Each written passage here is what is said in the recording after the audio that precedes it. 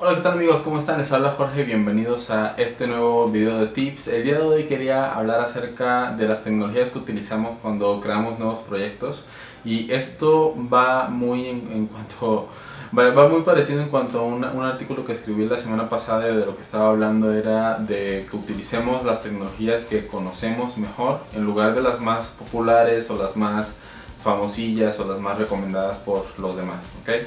Entonces eh, va de acuerdo a ciertas situaciones, no quiere decir que usar algo nuevo sea malo, no, para nada, es, es increíble y es muy padre llegar y probar nuevas tecnologías, es algo que a mí me gusta mucho. Pero eh, esta recomendación va, si tú vas a hacer un proyecto que necesitas comenzar un nuevo prototipo, ¿no? o necesitas hacerlo en tiempo y forma y comenzarlo rápido. Al inicio, ¿qué es lo que necesitas? Necesitas flexibilidad, necesitas ser muy ágil, ¿ok? Y esa agilidad uno la tiene cuando uno sabe qué es lo que está haciendo, cuando uno quita la curva de aprendizaje y uno puede eh, desenvolverse más en las tecnologías que uno conoce. ¿ok? Entonces si, si tú tienes un startup o vas a hacer un nuevo proyecto y necesitas primero determinar qué es lo que quieres hacer o cuál es el problema que quieres solucionar, qué problema soluciona tu, tu software o qué alcance tiene y luego tienes que empezar a, codificarlo, tienes que empezar a crear eh, ese, software. Eh, creo que lo mejor en ese punto de vista es que el primer prototipo, la primera versión que hagas, lo hagas utilizando la tecnología que ya conoces, la tecnología que ya manejas al 100%, con la que ya te sientas experto, con la que sientas que sea más fácil para ti desenvolverte.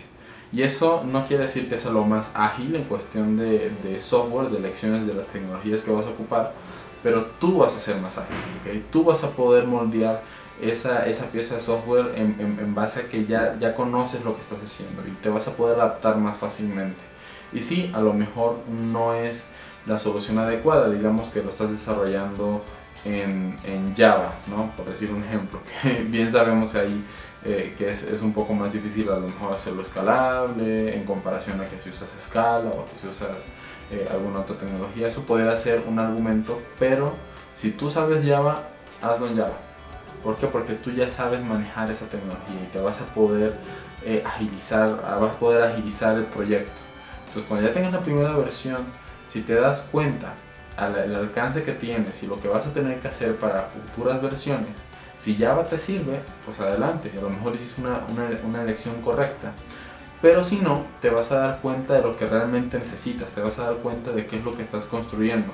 Y vas a poder decir, ok, en base a esto creo que a lo mejor haber utilizado Ruby on Rails o Node.js hubiera sido una mejor opción que se adaptara más para mis necesidades en este proyecto en particular. Entonces, amigos, eso era de lo que quería hablar hoy.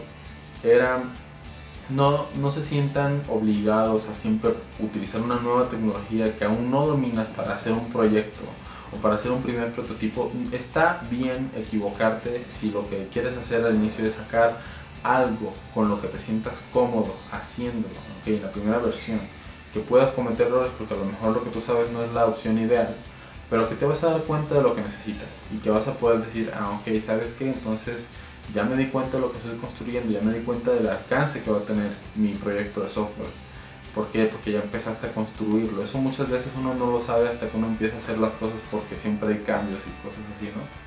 Pero te vas a dar cuenta de ahora sí qué es lo que necesitas, de cuál es la mejor solución para, para crear este software. Y a lo mejor vas a poder tomar una mejor decisión de tecnología para la segunda versión. ¿Qué pasa? Que entonces ya no estás tomando un riesgo de escoger una tecnología eh, ciegamente porque aún tienes esa curva de aprendizaje de por medio pero vas a, a, lo mejor a tomar un riesgo más informado, un riesgo para el cual estás más preparado, ¿ok? Entonces, eso era lo que quería hablar hoy, amigos. Espero que les haya gustado estos tips. No son nada nuevo, son cosas que este, tanto he visto como, o sea, por experiencia, así como he visto en internet, en comunidades o opiniones de otros desarrolladores, eh, vaya que hay en la red.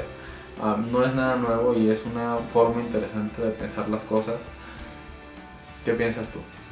No, olvides dejar tus comentarios aquí en la caja de comentarios abajo del video y pues nada, nos vemos en una próxima ocasión. Tchau.